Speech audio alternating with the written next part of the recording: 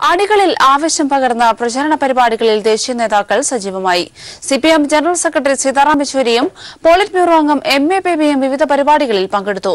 വയനാട്ടിൽ രാഹുൽ മത്സരിച്ചാൽ തരംഗമുണ്ടാകുമെന്ന് പറയുന്ന നേതാക്കൾ രണ്ടായിരത്തി പതിനാലിൽ സോണിയാഗാന്ധിയും രാഹുൽ ഗാന്ധിയും. ഉത്തർപ്രദേശിൽ മത്സരിച്ചിട്ടും കോൺഗ്രസിന് തിരിച്ചടി ഉണ്ടായ കാര്യം ഓർക്കണമെന്നും എം എ ബേബി വ്യക്തമാക്കി.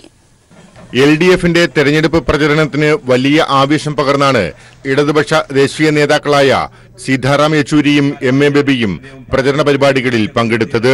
വയനാട്ടിൽ രാഹുൽ ഗാന്ധിയുടെ സ്ഥാനാർത്ഥിത്വം പ്രഖ്യാപിച്ച ഘട്ടത്തിൽ കോൺഗ്രസ് ആർക്കെതിരെയാണ് മത്സരിക്കുന്നതെന്ന പ്രധാന ചോദ്യമാണ് നേതാക്കൾ ഉയർത്തിയത്.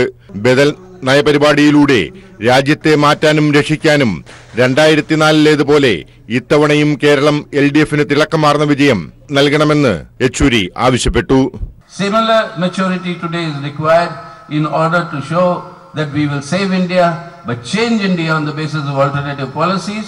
And for that, 2004 you gave 18 out of 20 to the LDF. This time you will give 20 out of 20 to the LDF and send them to the parliament for the future of India.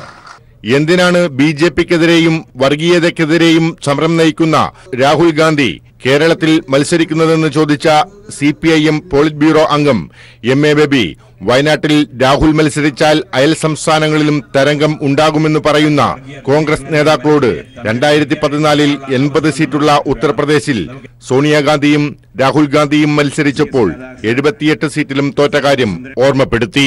അമ്മ സോണിയാഗാന്ധിയും മകൻ രാഹുൽ ഗാന്ധിയും രണ്ടുപേരും മത്സരിച്ച ഉത്തർപ്രദേശ് സംസ്ഥാനത്ത് എന്തുണ്ടായി?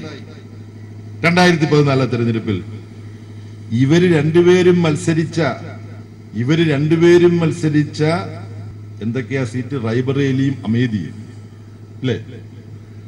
ആ രണ്ട് seat മാത്രമേ എൺപത് സീറ്റുകളിൽ കോൺഗ്രസ് ജയിച്ചുള്ളൂ. ബാക്കി എഴുപത്തെട്ട് സീറ്റിലും കോൺഗ്രസും കോൺഗ്രസിന്റെ കൂടെ നിന്നവരും തോറ്റു തൊപ്പിയിട്ടു ഇന്നും വിവിധ ജില്ലകളിൽ ദേശീയ നേതാക്കൾ പ്രചരണ പരിപാടികളിൽ പങ്കെടുക്കും ന്യൂസ് ബ്യൂറോ തിരുവനന്തപുരം.